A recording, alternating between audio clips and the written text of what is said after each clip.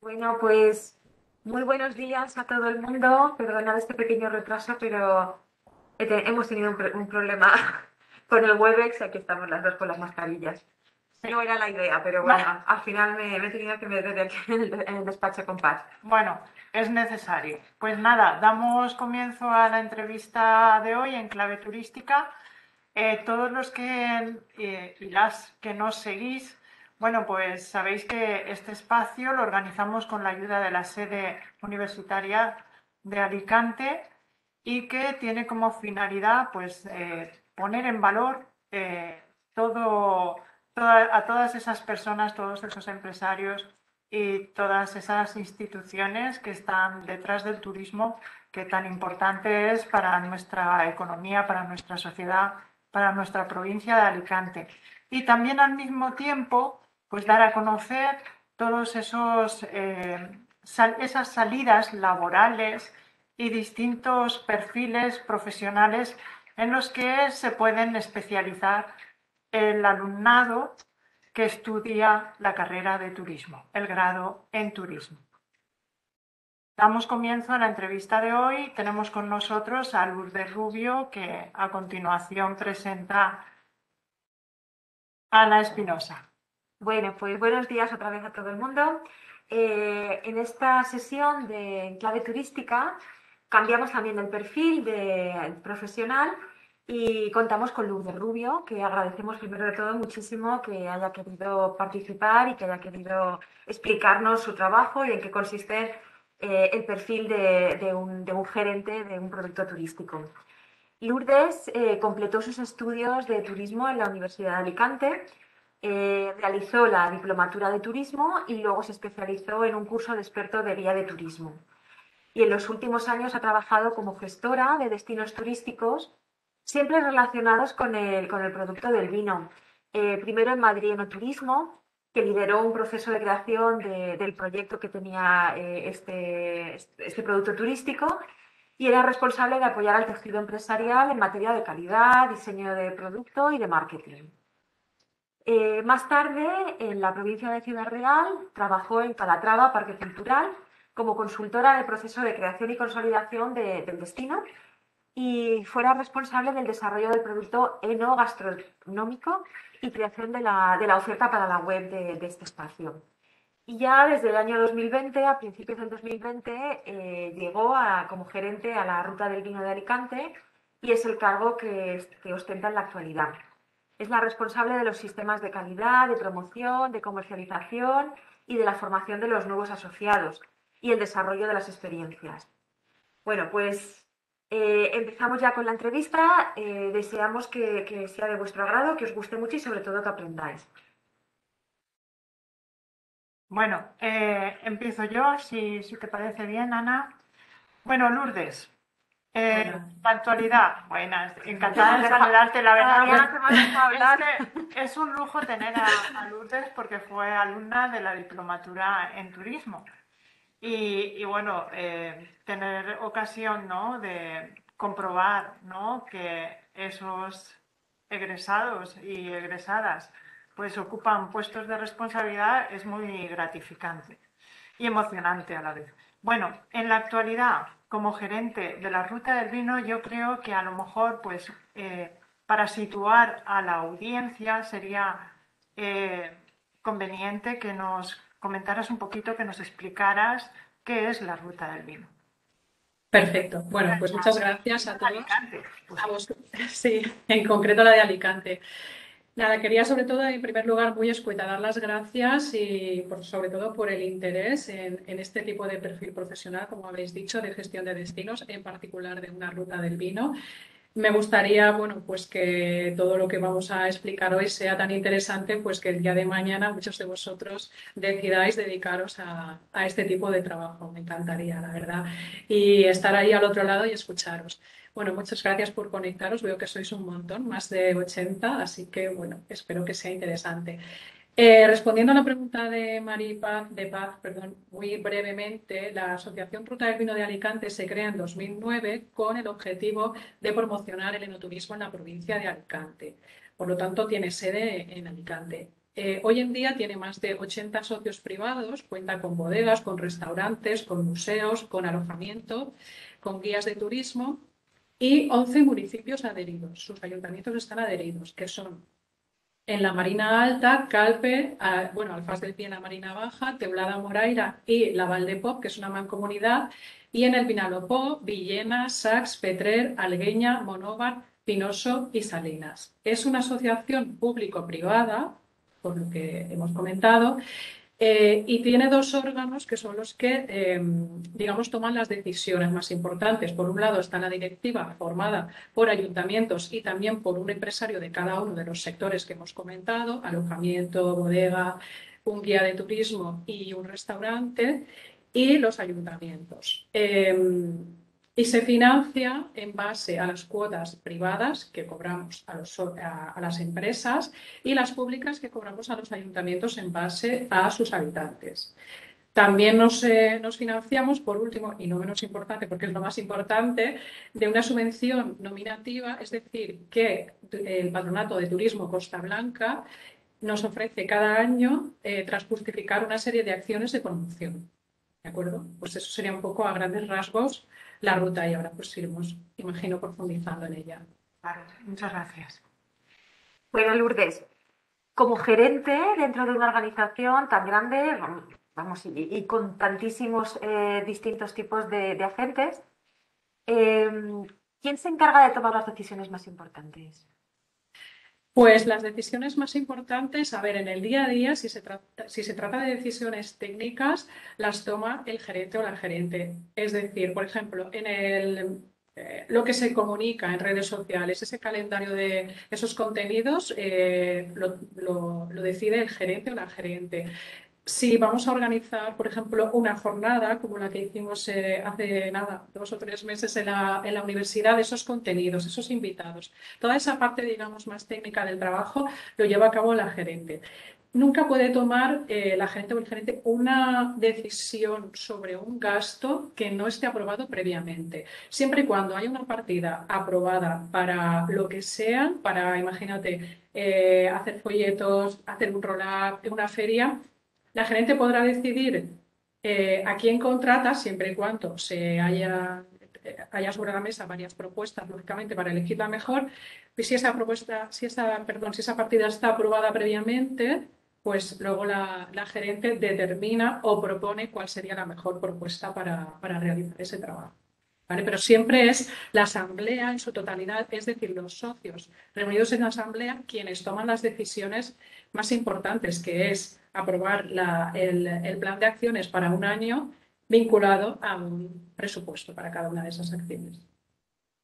Interesante. Está claro que la figura del gerente es un cargo de alta dirección con grandes responsabilidades y bueno, el tema económico lógicamente eh, pasa por ti, como, como has comentado, además, eh, y por supuesto ajustado al presupuesto que se haya aprobado por la Junta y demás. Pero eh, tus funciones son mucho más amplias ¿eh? Eh, y sobre todo tratándose de, la ruta del vino de Alicante. ¿Podrías especificar o comentar un poquito así em, con más detalle esas funciones, las funciones que tiene un gerente? Sí, las funciones que tiene un gerente se engloban al igual que los objetivos de la, asociación, en cuatro pilares fundamentales. La formación, la promoción, la comercialización y la calidad. En cuanto a la formación, se refiere tanto a la formación de los asociados como a eh, acciones de sensibilización dirigidas a la sociedad, como puede ser ahora mismo esta entrevista, eh, actividades que realizamos, que hemos realizado el año pasado en escuelas, con niños, con actividades en torno a la uva, para que conozcan la monastrell, la moscatel.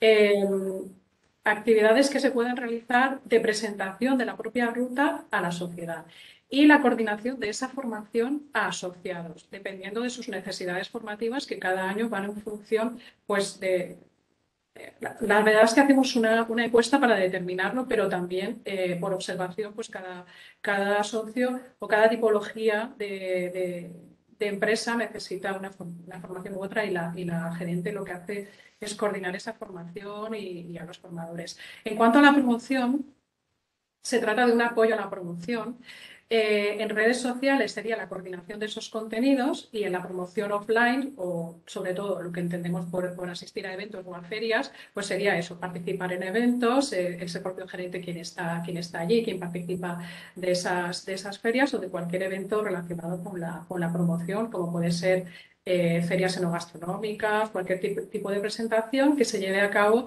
en, en cualquier destino, sobre todo en los, en los municipios adheridos. En cuanto a la comercialización, de nuevo, es un apoyo a la comercialización, entendiendo que nosotros lo que somos es una marca paraguas en la cual eh, pues, eh, no promocionamos a uno más que a otro, sino que se promociona la marca Ruta del Vino de Alicante como tal. Eh, se trataría de poner en valor esa, combinación de productos que ofrece cada, cada socio a través de los enopas, es decir, combinar lo que es la, la oferta de, en una bodega, la experiencia en bodega, el menú de un restaurante asociado y el alojamiento. Eh, a veces también hay alguna visita cultural que ofrece el ayuntamiento de un determinado destino y todo eso lo unimos en, paquetes, se comercializa a través de una agencia que tenemos asociada también, es decir, que la agencia es la que se encarga de vender, de facturar, porque la ruta no somos una, no tenemos el perfil de agencia, y a través de nuestra web esa, la gente lo puede reservar esos paquetes.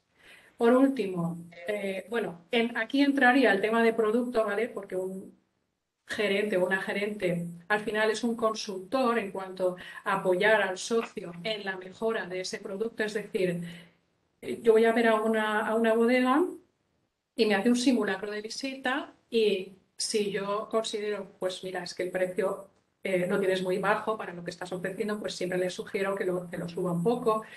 Eh, el contenido de esa visita, si va dirigido a un, determinado tipo de público, cómo es la cata, si tiene o no tiene, si tiene pocos vinos, si tiene demasiados vinos, en fin, todo ese tipo de, cosas determinado sobre todo al perfil al que va, dirigido.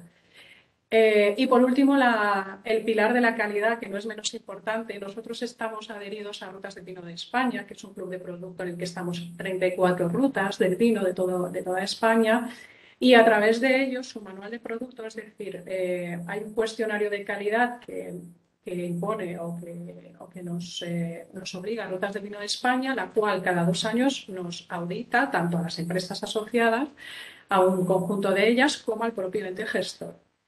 Y bueno, pues con, esas, con ese cuestionario lo que hacemos nosotros previamente la ruta es hacer unas auditorías internas para asegurarnos que esa auditoría, que se lleva a cabo cada dos años con un auditor externo, eh, pues eh, la empresa la pase con, todo, con todas las garantías. Y bueno, luego hay una serie de tareas más invisibles, pero que están ahí y que hay que hacer, invisibles porque, bueno, no sé, a simple vista, no si no lo explicas, pues nadie, nadie lo ve. El tema del observatorio del enoturismo, Rutas del Vino de España también eh, cada año elabora un informe sobre las visitas que ha habido en, las rutas del vino, en las bodegas y en los museos, así como el perfil del enoturista a través de encuestas. Pues bueno, esos datos somos los gerentes los que nos encargamos de recopilarlos, eh, de pedirlos a las, eh, a las bodegas y recopilarlos. Eh, bueno, también el tema de organizar eh, tanto las reuniones de directiva como las de asamblea, en las cuales pues, se llegan a todos esos eh, consensos que hemos hablado antes, de aprobar el plan de acción y sin el cual pues, no, digamos que es nuestra hoja de ruta para ese año. Solicitud de ayudas, justificación de ayudas, gestión con el banco, en fin, toda esa labor invisible que está detrás, pero que es muy necesaria como en cualquier empresa. Desde luego, eh, está claro que eh, son muchas tareas las que abarca esa planificación del destino. Y cómo es un día, una jornada de trabajo tuya, porque con tantas responsabilidades, con tantas... Pues cada día es diferente, por eso me encanta mi trabajo. Eh, pues después de esta entrevista, por ejemplo, hablo de lo que tengo planificado para hoy, tengo que enviar una documentación al banco porque, bueno, pues las asociaciones funcionamos casi todas las rutas de vino con una póliza de crédito que te permite eh, poder invertir antes de recibir la ayuda en todo ese, tipo de acciones. Sin eso no podríamos funcionar. Entonces, pues bueno, el banco te pide una serie de documentación que hay que aportar. Eh, también tengo que preparar una memoria para solicitar la ayuda que cada año nos da el Patronato de Turismo Costa Blanca. En esa memoria, normalmente una memoria se hace después, pero en este caso se pide que antes eh, haya como la como una memoria de todas esas acciones que va a llevar a cabo la ruta durante 2022 para justificar que estás pidiendo eh, X dinero, ¿no? Eh, ¿Qué más? Desde cerrar la contratación de, un stand que tenemos el mes que viene en una feria en Valladolid.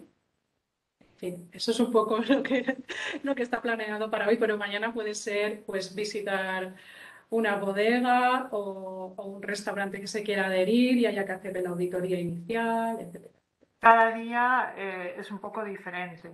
Te vas adaptando, diríamos, a, las necesidades. Muy bien. Antes de continuar, eh, Laura, eh, alguien ha dicho que no se escucha bien. ¿Tenéis problemas para escucharnos y para escuchar a Lourdes? Y luego también que ha preguntado por lo de la lista de, asistencia. Sabéis que tenéis que entrar y también para las personas que se han matriculado en enero que sois nuevos en, este tipo de charlas, tenéis que poner vuestro nombre y luego tenéis que poner, como ha puesto aquí en el chat Laura Gutiérrez, prácticas TADE o prácticas de turismo. ¿vale? Eso es muy importante para que, para que luego podamos contabilizar vuestra asistencia. Entonces, repito, ¿escucháis bien? Yo escucho perfectamente, vale. Pues, pues genial. Gracias, Alba. Bueno, pues Lourdes, vemos que no te aburres y que cada día tienes actividades diferentes. Sí que es verdad lo que estamos viendo que, que tienes un perfil totalmente amplio, es decir, que no estás encasillada en un tipo de tareas, sino que estás, pues, por una parte, eh, captación de nuevos clientes o captación de nuevos socios, gestión de, de, los servicios que tenéis, marketing, es decir, que pasas por, vamos, es como la figura central dentro de la, de, la ruta del vino, eres tú con muchísimos temas, entonces sí que es verdad que tienes que tratar Em, diferentes temas y con una visión multidisciplinar. Queríamos preguntarte, porque lo has mencionado, luego has seguido hablando y justo quería decirte, ¿cómo ha ido eh, Fitur y en qué consistió tu trabajo una vez que estabas allí? Pues nada, en Fitur eh, básicamente, como cualquier feria, se trata de captar, tener reuniones con agentes comerciales, eh, ya sean mayoristas o minoristas, eh, pero este año además también porque queremos eh, poder optar a ayudas en cuanto a un poco el tema de, tecnología, de poder tener una aplicación eh, de audiovías y todo este tema más adaptado, digamos, a personas con capacidades diversas. Entonces sí he estado en contacto con esos proveedores de tecnología porque me, interesa un poco conocer todas las plataformas que hay ahora mismo en el mercado para, después poder, pues lo que decíamos antes, ¿no? esas propuestas, poder compararlas y, tal. Además de esas reuniones, tanto con, potenciales clientes como con proveedores, eh, ahí había en el stand de Comunidad Valenciana, donde estábamos nosotros ubicados, una parte dedicada a las degustaciones. Eh, entonces, bueno, pues teníamos socios, bodegas que participaban en, esas, en esas catas o que enviaban su vino. Entonces, bueno, pues yo tenía que asegurarme que la, que la bodega había enviado su vídeo promocional, su ficha técnica para que luego el sommelier pudiera explicar con más detalle ese vino, etcétera, etcétera. Un poco de, de coordinar eso también. Lástima, este año no he podido asistir a la feria, pero me hubiera encantado. y también estar ahí disfrutando. Bueno, eh, quería eh, comentarte, claro, eh, como aprovechando ¿no? que, que, te tenemos, está claro que un gerente cumple muchas funciones, asume mucha responsabilidad, muchas tareas. Y bueno, pero en tu caso mucho más, porque no es lo mismo ser un gerente de una empresa, de una empresa, que de un destino. Eh, y sobre todo teniendo en cuenta que estamos hablando de un producto territorio en el que no se incluyen varios eh, destinos a su vez. Entonces, eh, quería así en general si pedirte que concretaras qué, qué competencias, qué competencias o habilidades tiene que tener un gerente pues transversal, ¿eh? sí. personal, lo que llamamos competencias personales. Sí, yo creo, yo le doy mucha importancia a la comunicación porque constantemente me estoy comunicando tanto a través de mail como por teléfono, en persona. Em, para mí, si, si, si, soy sincera, a mí lo cuando, cuando me contrataron, lo primero que yo quería hacer era conocerles, conocerles en persona y que ellos me conocieran a mí. Entonces, esa, había que generar esa, esa, confianza que todavía no me tenían porque no me conocían. Entonces, esa, esa, eso solamente se consigue con, con, la comunicación y es imprescindible que el socio confíe en el, en el gerente porque es una persona ajena que viene de fuera, que no la conocen. Entonces, bueno, pues fundamental el, esa transparencia, ¿no? Y decir, bueno, pues aquí estoy yo, ¿qué te puedo ofrecer? Esa comunicación. Pero no con un socio, como con un alcalde, como con... Eh, el secretario autonómico, con quien haga falta reunirnos. Entonces, pues esa comunicación. El liderazgo es súper importante, pero no lo vamos a entender como hay que ser una persona súper carismática, un Gandhi, ¿no? No, nada de eso. Se trata de saber motivar. Saber motivar porque, eh, por ejemplo, eh, durante el COVID ha habido una bajada de moral impresionante, sobre todo en los restaurantes, porque no veían, eh, lo veían todo muy negro, pues entonces estabas prácticamente pues como lo que hace un amigo, ¿no? Animarte, apoyar, eh, decirles que bueno, pues todo esto va a pasar, etcétera, etcétera. Algo tan sencillo como eso, que se sientan eh, escuchados, entendidos, etcétera. Saber motivar también es hacerles participar en actividades cuando precisamente tienen esa moral tan baja, haciéndoles ver que es súper importante que hagan la formación, porque cuesta mucho. Porque es gente que está muy ocupada, entonces tienes que buscar el día apropiado, la hora apropiada, para que esa formación que ha costado unos recursos eh, organizarla, pues sea aprovechada. Comunicar eh, esas recompensas que tiene el ser socio, ¿no? sobre todo a la hora de captar nuevos, nuevos socios. Transparencia. Eh, hay muchos emails, mucha, mucha información. Vamos a esta feria, vamos a hacer esto. O sea, constantemente y casi yo diría que a diario hay emails eh, ellos no suelen contestar, pero yo sé que los leen y, cuando hablo con alguien, oye, muchas gracias porque no te contesto, pero yo lo leo todo y, lo sé que lo leen. Y entonces, aunque no respondan, tú tienes que estar ahí informando, informando. Es, muchas veces es unilateral, porque no responden, pero hay, hay que llegar a ellos y hay que contarles todo lo que hace la asociación, esa transparencia. Muy importante la gestión del tiempo, porque hay estas tareas tan dispares que de repente estás haciendo números como de repente estás escribiendo un discurso. Entonces, es un poquito. Eh, ¿Escucháis bien? Porque es que dicen que no, que no se escucha. Eh, José, Pepe. Eh. ¿Todos los demás escucháis? ¿Es un problema individual de Ivana o hay Es que, claro, ha pasado ya dos veces. O no sé si es que cuando... yo, escucho muy bien, ¿eh? Se escucha muy bien. Vale. A, lo, mejor... es un problema de la, de la receptora, ¿no? De la, de, la persona que, tiene... Yo escucho muy bien, muy bien desde aquí, desde mi ordenador. Vale, pues disculpa que te he interrumpido, Lourdes. No, tranquila. Nada, no te preocupes, Ana. Si lo primero es, hablando de comunicación, que llegue el mensaje, porque si no, pues nada, si seguimos. Como decía, la gestión del tiempo es muy importante porque no estás haciendo una única tarea o una serie de tareas que repites a lo largo de una semana. No, o sea, eh, hay cientos de tareas y es muy importante encontrar el momento para que la mente de, la mejor, de la forma más eficiente lleve a cabo esas tareas. Pues yo sé, por ejemplo, que después de comer es mi mejor momento para hacer números. Pues no me voy a poner por la mañana, porque si por la tarde puedo hacer en media hora lo que por la mañana me tiro dos horas porque no me da para más, pues por la mañana hago otras cosas. Eh, por ejemplo, hacer eh, enviar emails o hacer llamadas, porque por la tarde sé que eh, mucha gente no la voy a localizar, o si tengo que llamar a socios lo voy a hacer por la tarde. Entonces me organizo las según qué tipo de tareas tenga ese día, un poco los, horarios, pero es muy difícil. siempre hay que trabajar en eso de la gestión del tiempo porque siempre se puede mejorar. Eh, la gestión equilibrada de los recursos, porque como decía, eh, Estamos eh, hablando de recursos privados de, la asociación, de los, socios y de recursos públicos de una ayuda, entonces hay que gestionarlo de la, mejor manera y que repercuta de forma equitativa en todo el territorio, porque eh, no olvidemos que es un territorio muy amplio.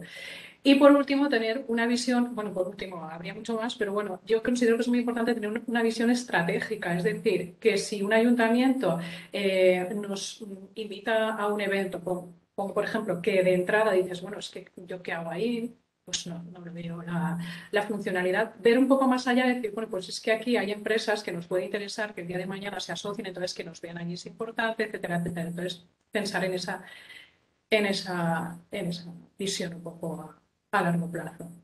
Un poco son, para mí, las competencias que tiene que tener un, un de destino. Bueno, viendo todo lo que nos has ido contestando por ahora, eh, ¿en qué medida crees que te ayudó el cursar la diplomatura en turismo para poder desarrollar tu trabajo? ¿Vale? Eh, ¿Qué materias o sobre todo qué asignaturas o qué conocimientos te han resultado más útiles para desempeñar tu trabajo actual? Vale, pues esta la tengo muy clara porque yo en el, eh, cuando cursé la diplomatura, que es la antigua titulación, había un itinerario que me consta que todavía existe, que es el de planificación turística. Entonces, claro, en esa asignatura los profesores obviamente nos hablaban de planificación estratégica de destinos y, y del territorio. O sea, es clave, esa asignatura era clave. Ahora imagino que habrá más, eh, pero para mí esa, esa fue clave, ese itinerario y en concreto esa, esa, asignatura. Después también tengo que decir que a nivel de otro tipo de habilidades me vino muy bien hacer el curso, que por cierto soy de la primera promoción de experto de guías en turismo de la Universidad de Alicante, porque la figura del guía es como un... Eh, vamos a decir que, sabe captar el ánimo del grupo en todo momento. Entonces, un gerente tiene que saber captar el ánimo del grupo en todo momento y reaccionar en base a eso, como decía antes, del el momento de mm, que estábamos confinados, lo que, cómo, cómo tienes que reaccionar y cómo tienes que motivar al, personal, al personal, en este caso a los socios. Y por otra parte, hago un paralelismo también aquí porque el guía es como un un director de orquesta, ¿no?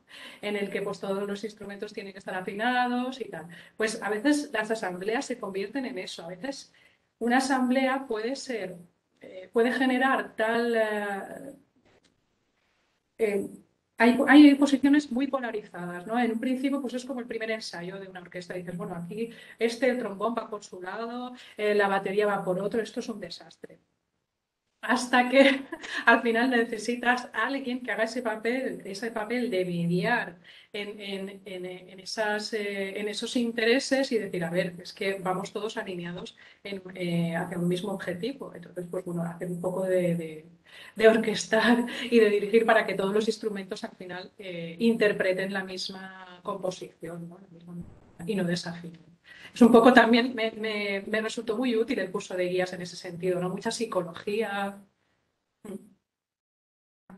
Interesante porque la verdad es que tienes razón, el símil es muy apropiado y además el guía los, eh, tiene que ser un buen conocedor del destino también. Sí. Eh, bueno, y, pero se dirige igual una empresa, un producto, un destino no, pues, no, por supuesto que no. Es, en mi opinión, lo más difícil que, de conseguir en la gestión de un destino, al menos al, al, inicio de, un proyecto, es conseguir el consenso de todos. Eh, ahí otra vez la, comunicación es imprescindible y, se trata de alinear a todos los agentes en, en el mismo en el mismo fin. ¿no? Es, es, imprescindible porque, porque, porque sí, porque todo el mundo tiene que, que, remar a una. Sí que para mí una ruta del vino es un compendio de, de, los tres, ¿no? Es decir, está el destino, dentro del destino está la empresa, dentro de la es como una muñeca rusa, ¿no? Dentro de la empresa está el producto, pero al mismo tiempo el, la unión o, o, la alianza entre varias empresas hace que se genere un producto combinado, es decir, todo, en el destino todo está interrelacionado. Y, bueno, y esas, y esas alianzas se generan a base de tiempo, a base de muchas reuniones, a base de, llegar a muchos consensos, pero, pero un destino es eso, es la alianza de mucha gente trabajando eh, en un bien común, que es la, la, imagen, el prestigio de un destino. al final se trata de vender destino, pero de, hacerlo interesante y transmitir que, hay una calidad ¿no? en, el producto que se ofrecen las empresas que hay detrás. Buscar ese acercamiento, esa cohesión ¿no? y, diríamos, unidad, ¿no? Eh, diríamos, eh, para de dirección, ¿no? Por donde tiene que caminar el, destino. Estás hablando, estabas hablando de una alianza entre diferentes agentes.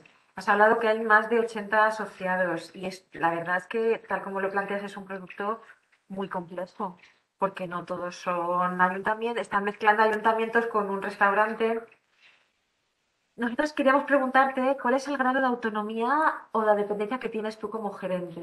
O bueno, no, te vamos a poner en un, en general, un gerente, ¿vale? O una gerente. ¿A quién tienes que rendir cuentas? Eh, según sea el tipo de empresa, en tu caso es una alianza, un partenariado entre eh, empresas privadas y públicas. ¿Qué relación tienes tú con la presidencia? Y si también puedes tomar decisiones ejecutivas. Sí, a ver. No queremos ponerte. Nada, no. Una, una, como he comentado antes, eh, yo en mi caso sí que tengo mucha, mucha autonomía. No sé si es el caso de todas las rutas, pero el, el ejemplo que os he puesto antes, ¿no? De decir, yo es que entré a trabajar y a los dos meses se declaró una pandemia. Eh, entonces digo, Dios mío, que se suspende todo, no hay ferias. ¿Qué haces? Pues hablar con los socios, hablar, hablar, hablar y hablar mucho y que me conozcan. Por suerte, los visité por lo menos a la mitad de, ellos antes de que se declarase eh, la pandemia y nos encerrasen. Entonces, autonomía para mí, eh, mucho más que en una empresa privada, eh, pero al final, al igual que la empresa privada, tienes que rendir cuentas al mercado. El mercado eh, no está pidiendo lo mismo ahora que en 2019. En nuestro caso, está pidiendo hacer actividades en el viñedo, está pidiendo mucho ah, actividades al aire libre, etcétera, etcétera. Entonces, eso a través de las encuestas que hemos comentado antes eh, lo tenemos.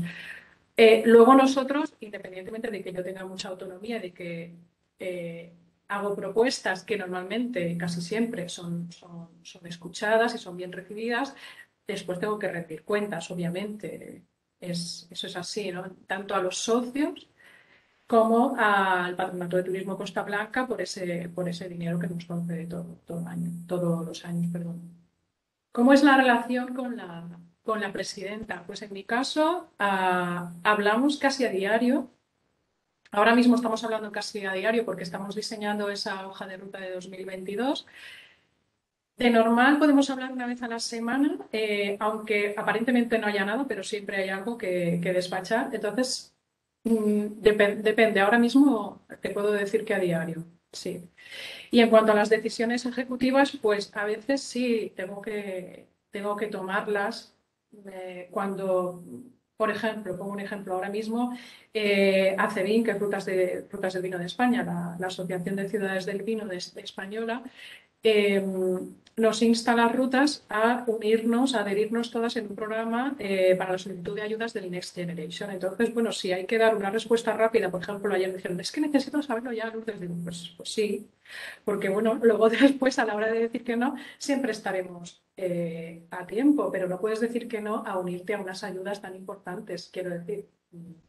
Luego ya se verá la forma, el cómo, eh, etcétera.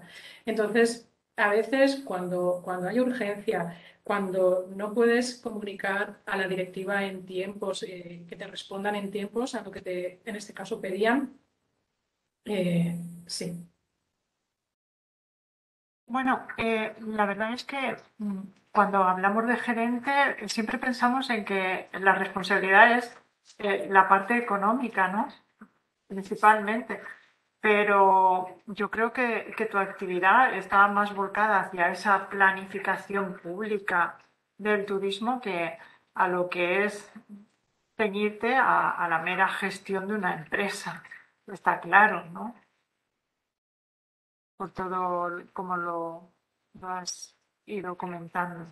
Sí, perdón. Creo que es un equilibrio entre lo que tú dices de eh, gestionar un destino, tener muy, muy en cuenta los recursos que hay en ese destino, saber gestionar al final lo más importante de la asociación y lo que más hay que cuidar, que son los socios, y por último, esa parte económica que, que, hace que tengas que gestionar esos recursos muy, muy bien y de forma equilibrada.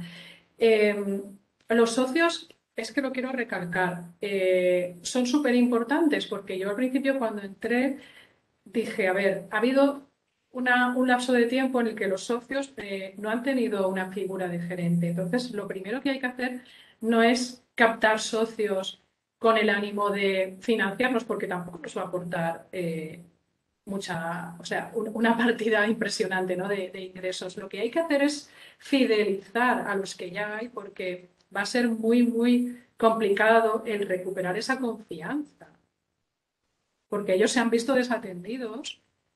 Eh, porque antes pues, pues ha, habido un lapso de tiempo, pues como pasa en, en, muchas unidades de gestión, en las que no ha habido eh, una persona ahí. Entonces, bueno, pues eso hay que, hay que trabajarlo y sin ellos sería, sería imposible.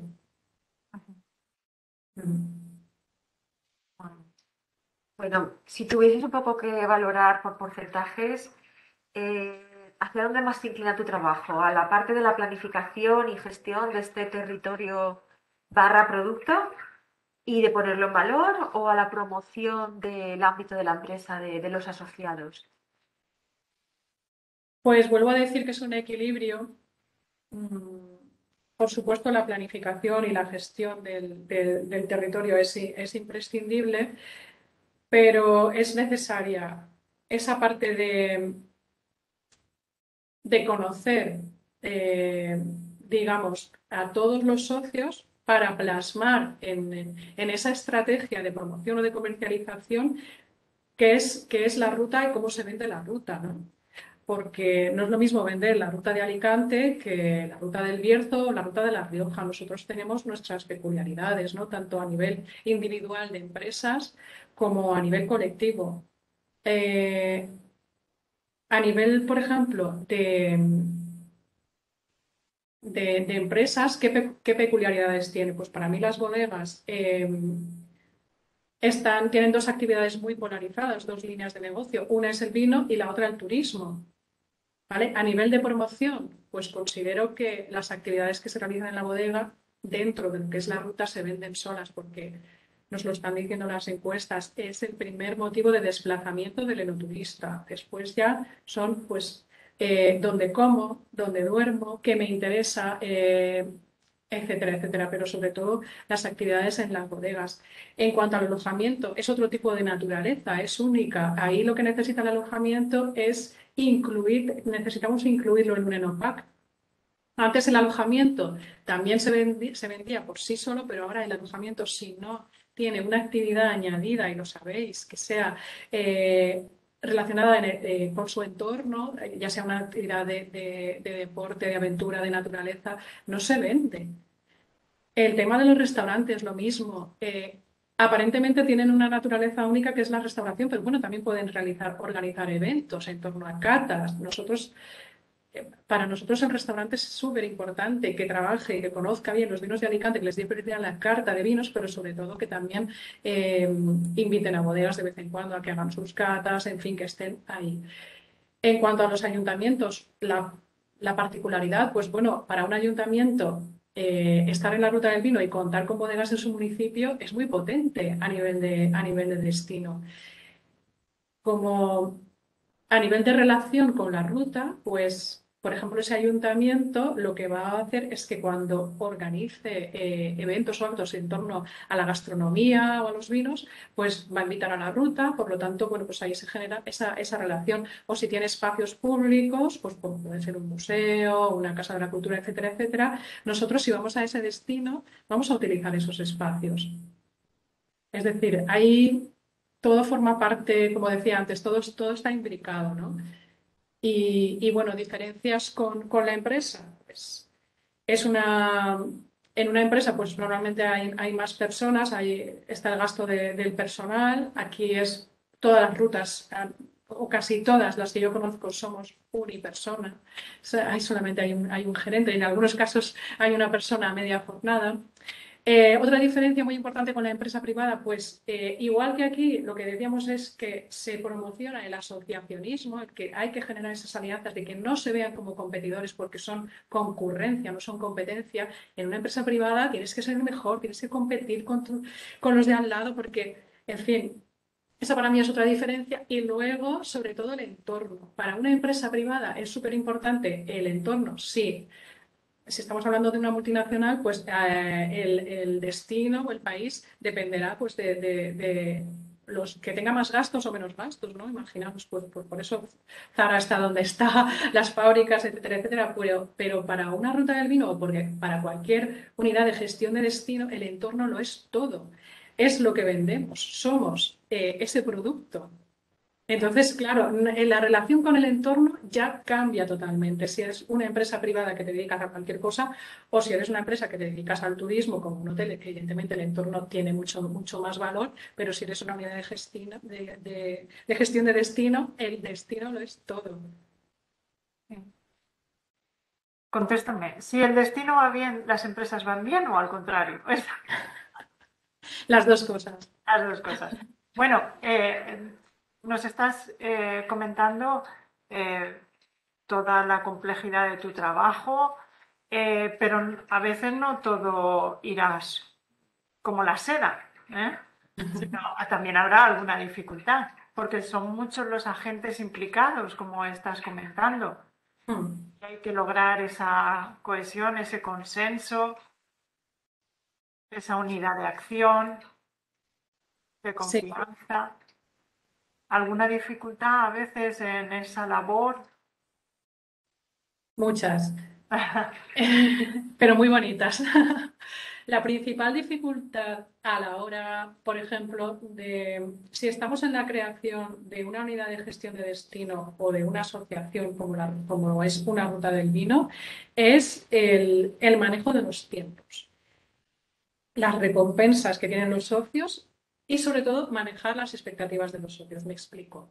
El, crear una asociación es muy sencillo, porque es darla de alta, es un CIF, etcétera, El crear destino, eso lo anterior puede llevar semanas o meses, ¿no? Bueno, la administración puede llevar meses, pero el crear destino lleva años. Entonces, hay que concienciar muy bien a los socios de que de inmediato no van a recibir esos beneficios, no van a recibir turistas, porque, porque crear destinos, ya hemos dicho, que requiere de muchas reuniones, de muchas eh, charlas, de, muchos vinos, de muchos cafés, de mucho consenso. Eh, entonces, esos son años.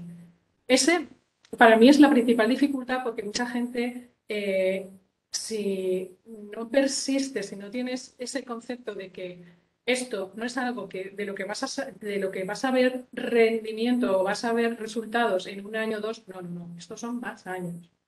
Sobre todo se incrementa si el territorio se va, se va ampliando. ¿De acuerdo? Entonces, eso por un lado. Luego que em, hacer entender también al socio que se trata de un apoyo a la promoción, de un apoyo a la comercialización, de no te voy a hacer yo tu trabajo. Es decir, tú tienes que tener tu plan de, comunicación, tu plan de promoción, tus redes sociales, tu comercialización, tu comercial. Igual que tienes un comercial de vinos, tienes que tener un comercial de no turismo. Yo no puedo hacer tu trabajo. Tú estás aquí dentro bajo una marca. Yo no te voy a promocionar a ti con tu nombre y sobre todo el manejo de expectativas. Porque alguna vez he escuchado, es que a mí me han dicho que me iban a traer un autobús aquí de visitantes. Pues mira, quien te haya dicho eso.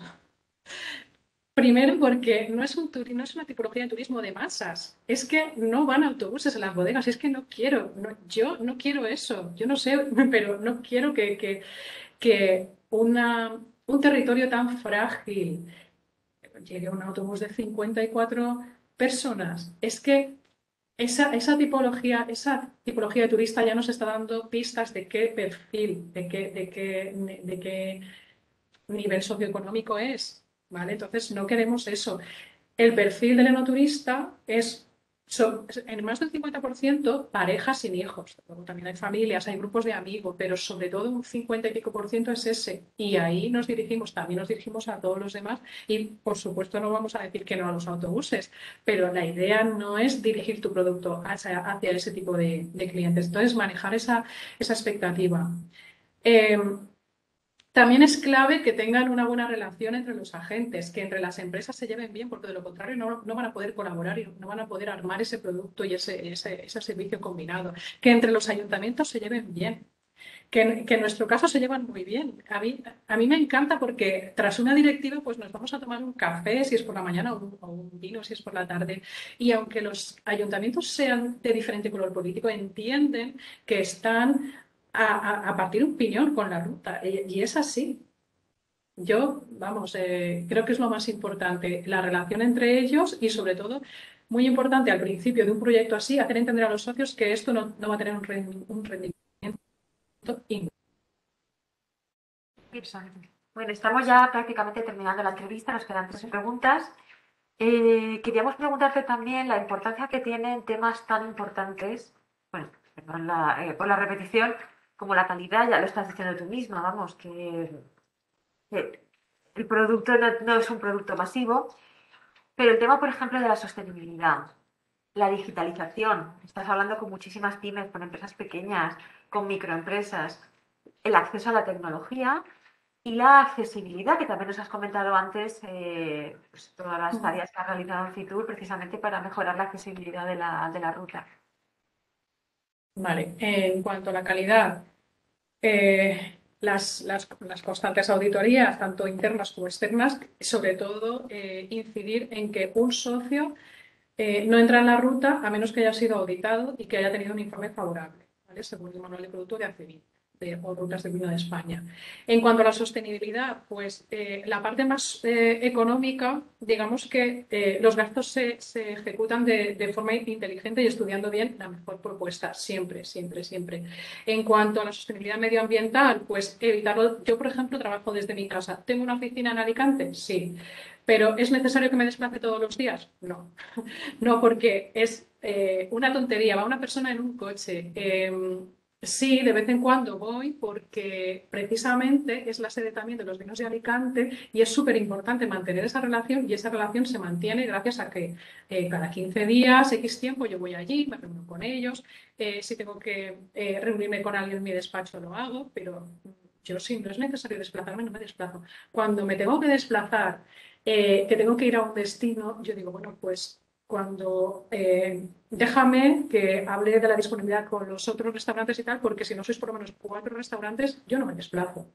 Eh, o intento que si sois dos, pues ir al pueblo de al lado, a tener otro, a, hacer otras dos visitas para aprovechar ese viaje. Eso siempre, siempre, siempre se, se, tiene en cuenta, ya no solamente a nivel económico, también ambiental y de gestión de los tiempos. Y por último, la parte social de la sostenibilidad, que para mí también es muy importante. Nosotros, eh, cuando hacemos, por ejemplo, eh, creación de banco de imágenes y hacemos eh, sesiones fotográficas, si la sesión la hacemos en Villena, vamos a contactar con personas de Villena a través, por ejemplo, de, de grupos de teatro y les digo, esto es así, tal cual.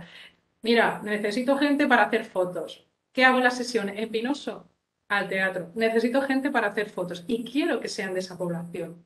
No quiero que se desplacen y además quiero que, los posibles impactos positivos de todo esto tenga, repercuta eh, en todos eh, los destinos de la ruta por igual. Pues eso, ese equilibrio y la parte de digitalización tecnología y accesibilidad y todo esto que me comentabas, ahí sí que tenemos mucho, mucho, mucho mm, por lo que trabajar todavía a nivel de ruta y a nivel de bodegas en la accesibilidad, por ejemplo, de personas pues, con capacidades diversas que, es, es, una, es un tipo de turismo que puedes hacerlo súper interesante y hacer que la cata sea lo más sensorial posible. O sea, aquí no estamos hablando solamente de eliminar barreras físicas, sino de todo tipo, de todo tipo. Entonces ahí queda, queda mucho trabajo y estamos en ello.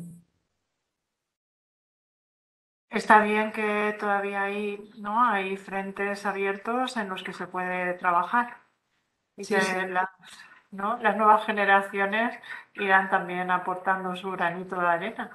Eh, de todos modos, eh, estos temas de la digitalización, la sostenibilidad, etcétera, pues claro, nos daría mucho que hablar en torno también pues a ya no es solamente desde lo que hace, haces tú como gestora, sino también lo que hacen las empresas incluidas en, la ruta y los destinos. Bueno, otra cosa, y tus preocupaciones actuales. Eh, pues ¿Cuáles son tus preocupaciones actuales y tus retos más inmediatos? Pues una, bueno, preocupaciones o ocupaciones, al final, eh, sobre todo, la más importante es la búsqueda de financiación para poder llevar a cabo los proyectos. Eh, otra ocupación que nos está, otra preocupación que nos está ocupando también desde el año pasado, tanto la denominación de origen como la ruta, nosotros entendemos que solamente ahí podemos poner un, grano de arena, no podemos. Eh, no depende de nosotros, es el tema de la continuidad de los viñedos, porque bueno, pues en la zona del, del hay, hay propuestas de instalación de placas fotovoltaicas, etcétera, etcétera. Entonces, claro, eh, esta industria sin los viñedos y precisamente por, lo que estoy diciendo antes, ¿no? que el interés del enoturista en realizar esas actividades en espacios abiertos, eh, la vendimia, la poda, cada vez se interesan más por todas las labores del campo y si van con niños, pues más todavía. Entonces, ¿qué hacemos si no hay viñedo? O sea, y, ya no solamente por el turismo, sino es que es nuestro patrimonio, es lo que es, que es, es que es lo que van a heredarnos eh, nuestros hijos, nuestros nietos. Como digo, pues eso apoyamos la causa, pero bueno, es algo que está ahí. Es ajeno, ajeno. Pues sí, es una amenaza, pero es una amenaza muy, muy seria que está ahí. Y, y después también otra cosa que nos preocupa y que tampoco controlamos, pues obviamente es la situación sanitaria, entonces lo que hacemos es estar informados para poder informar de los cambios en la normativa, porque ellos lo tienen que incorporar a sus establecimientos. Por ejemplo, el año pasado, cuando, bueno, aparte de informar de toda, eh, del, cambio de normativa, de, de los aforos, eh, todo este tipo de cosas, el año pasado hicimos una actividad con los restaurantes porque estuvieron meses cerrados que solamente hacían takeaway. Entonces, pues eh, promocionábamos sus menús de takeaway.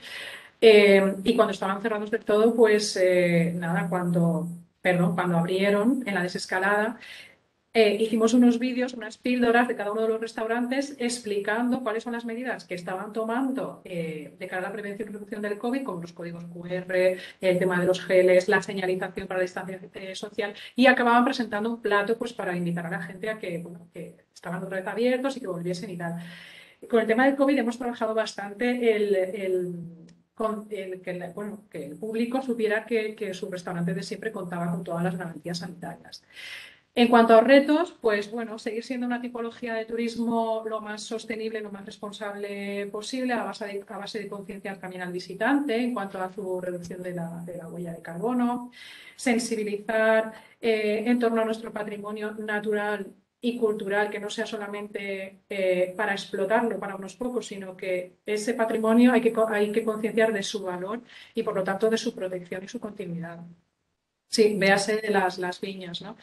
Eh, y bueno, y a largo plazo también generar más alianzas, eh, prepararnos a esto ya a nivel estratégico, prepararnos mejor para ese segmento que comentaba antes que, que es tan importante, que son las familias, porque ahora mismo bueno, hay bodegas que hacen cosas interesantes, pero queremos prepararnos mejor con material dirigido a, los niños para que puedan trabajar y, puedan entender el proceso eh, del vino, porque al final son los futuros eh, enoturistas y los que, bueno, también en un futuro consumirán vino y queremos que lo hagan de forma responsable.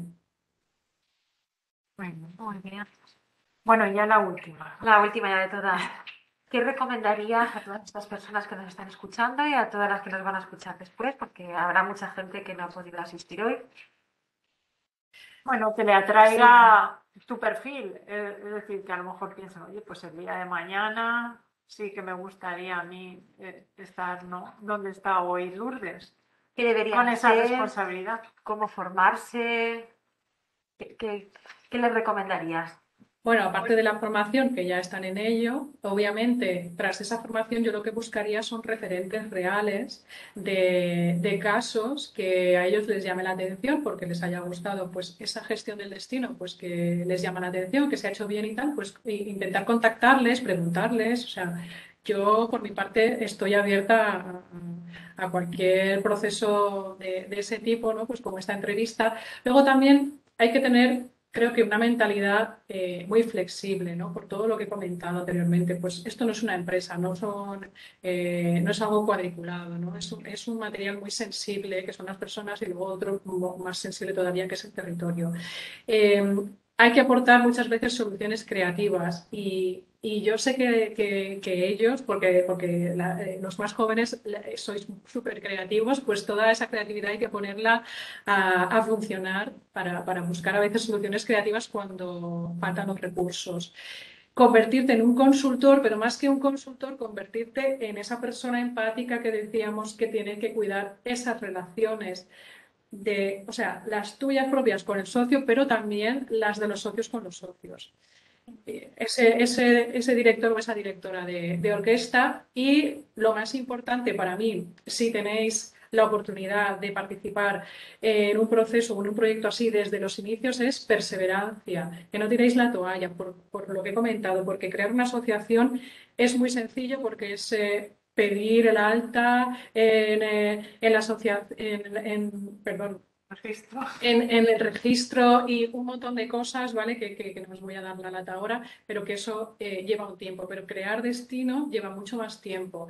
Eh, entonces hay que, hay que perseverar y no hay que tirar la toalla. Y bueno, es un papel muy, muy bonito de, de, sensibilizar, ¿no? Sobre todo a, a todos los agentes en que son piezas importantes todos, ¿no? Y que son, pues eso, no son competencia, que no se vean como tal porque no lo son y, y, es, y bueno, me acuerdo de lo que me decía una, una bodega de Madrid, ¿no? que dice, Lourdes, es que desde que, porque al principio estaba ya sola, dice, es que desde que hay más bodegas, yo vendo más. Claro, porque eres más visible, porque estás bajo un paraguas cada vez más grande, más potente, el mensaje llega más a más gente y por lo tanto, cuantos más seáis, más vendéis y mejor. Y, y ese es el cambio de una visión individualista de la empresa a, la visión de, la asociación en, un proyecto así. Pues yo creo que en ti van a tener un referente muy importante, muy fuerte. Muchísimas gracias, Sí, muy bonita la entrevista. Lo que más me ha gustado ha sido, sí, primero, lo que has dicho de una visión plural del beneficio económico, que al final esto repercute en las empresas y que también el beneficio territorial y sobre todo el beneficio turístico. Porque tu formación ha sido de, la rama de turismo, pero estás haciendo que, que irradie a todo el territorio. Y a los agentes. Muy bien, aportando valor. La verdad es que yo amo mi trabajo. ¿no? No me veo ahora mismo haciendo otra cosa que no sea esto. me aporta tanto como, como persona que es, no sé, no lo puedo explicar. bueno, sí lo puedo explicar. Sí. Bueno, para que haya sido interesante para todos y si alguien tiene alguna pregunta, sí.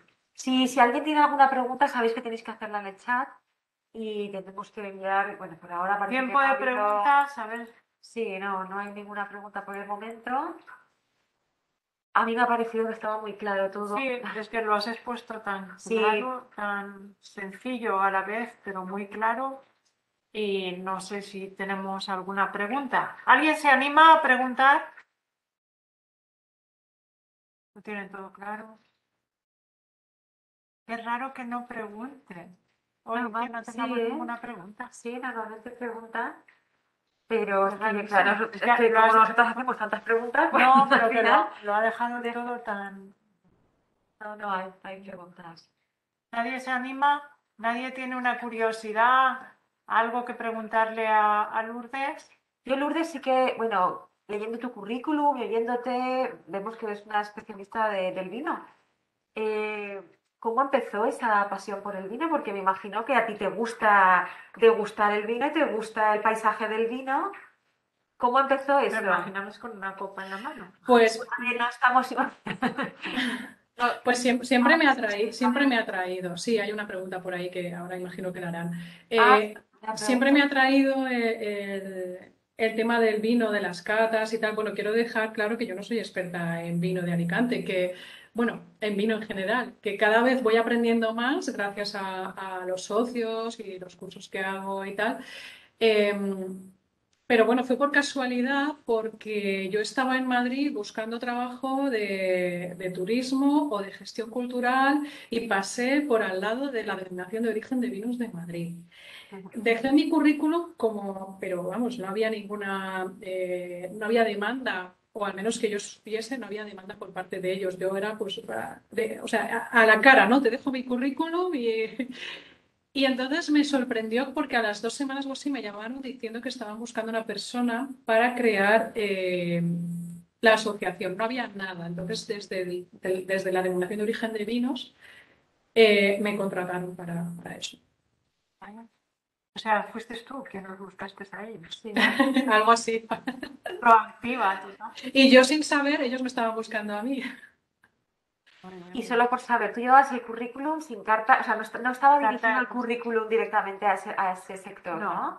No, no, no. Ya, también. Ah, no, no, sí, sí, perdón. Ah, Eh, había, había una parte de, de gestión de destinos que a mí me gustaba, pero es verdad que yo en aquel entonces no tenía experiencia en eso.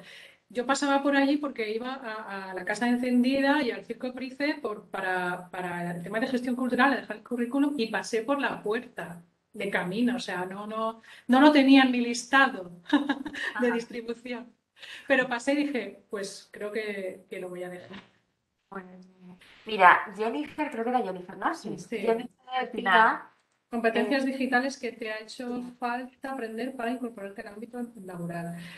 Pues mira, falta, falta, no, no es necesario, no es específico que tengas un, eh, una superformación en cuanto a redes sociales, por ejemplo. Sí que es verdad que me ha venido muy bien. Eh, Yo hice hace tres años un curso de, marketing online y, comunicación y community manager y tal. ¿Por qué me, por qué digo esto? Porque mm, normalmente yo las, redes sociales no las gestiono, pero sí me coordino con la persona que gestiona las redes sociales, por lo tanto sé de lo que me habla cuando me dice voy a programar el tal o el copy o el no sé cuántos, sé de lo que me está hablando, puedo discutir con él y sobre todo, pues eh, no me la cuela. Pero, pero eres tú quien le da instrucciones al community manager, al, al, al que trabaja, se encarga de las redes sociales, ¿no? Sí, a principio de año hacemos un calendario de publicaciones en base a los temas que, me- que mes a mes vamos a tocar.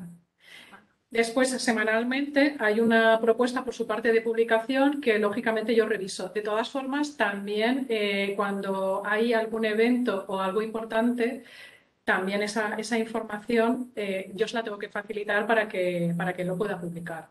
Bueno, vale. Muy bien. ¿Alguna más? yo creo que parece que ya ¿No han sido parcos en preguntas? Bueno, gracias Jennifer, ¿eh? por haberte Ajá. animado. Y gracias a ti también, Lourdes, por la magnífica entrevista y por compartir con nosotros tanta, tanta información. Sí. Y sobre todo experiencia, que experiencia. que te notaba muy segura que ya dominas estos temas y que, que vamos, que sabes muy domina de bien. sobra. Sí. Domina Bueno, dominar, dominar. Cada día es un trabajo que, ¿no? de aprendizaje diario también. Un reciclaje continuo de adaptación, porque es que el turismo es así también. Sí, Pues y, bueno, pues por ejemplo, yo creo que es que todos lo hemos visto, ¿no? El- el- es bueno que un trabajo tenga eh, retos y que te ponga retos y que te pongas a prueba. Todos hemos pasado por ahí cuando eh, hemos estado confinados y nos hemos tenido que poner al día con el tema de estas plataformas precisamente. Es decir, bueno, pues es que ahora voy a salir en directo, pues es que ahora, pues todo ese tipo de cosas, eh, no sé, son, son retos ya pues... este, ese es un ejemplo, ¿no? Pero hay muchos más que, que en principio crees que no estás preparada, pero luego, pues bueno, te pones a prueba y, y lo haces y, y ya está. Claro que sí. Los retos te ayudan a ir creciendo, a ir superándote. ¿sí? Bueno, pues Pues muchas gracias. muchas gracias. A vosotras. por la entrevista y muchas gracias a todos y a todas que os habéis conectado. Gracias a vosotras. Un saludo. Hasta luego.